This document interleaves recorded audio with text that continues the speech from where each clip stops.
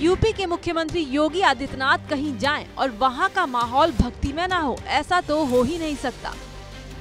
फिर चाहे वो धार्मिक आस्था के प्रति भक्ति हो या फिर देश के प्रति जज्बे की भक्ति।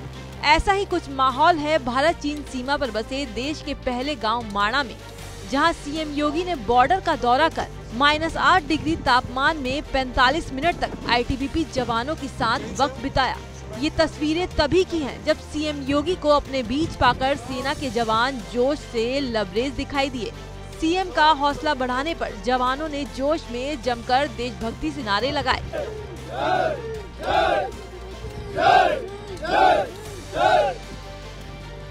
ये देख मुख्यमंत्री का चेहरा भी खिलखिला उठा।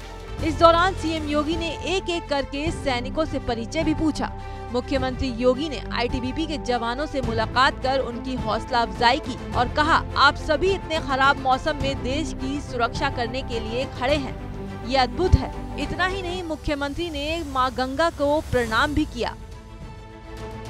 सीमा पर तैनात जवानों के साथ साथ मुख्यमंत्री योगी आदित्यनाथ ने राज्य अतिथि गृह का भी निरीक्षण किया। उसके बाद श्रमिकों से बातचीत की, उनका हालचाल जाना। श्रमिकों से उनकी समस्याएँ भी सीएम ने पूछी।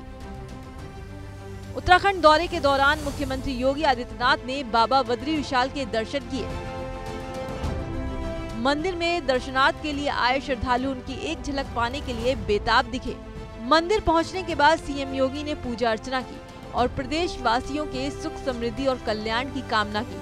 वहीं शयन आरती में भी सीएम योगी शामिल हुए। इसके अलावा सीएम ने बद्रीनाथ धाम में सुंदर नाथ गुफा का दौरा किया और गुफा में बैठकर काफ़ी देर तक पूजा अर्चना की।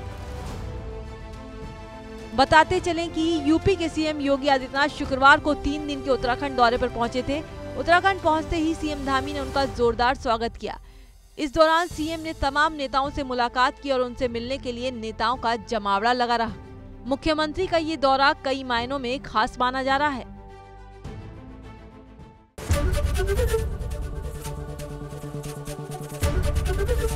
एबीपी गंगा खबर आपकी जुबा आपकी।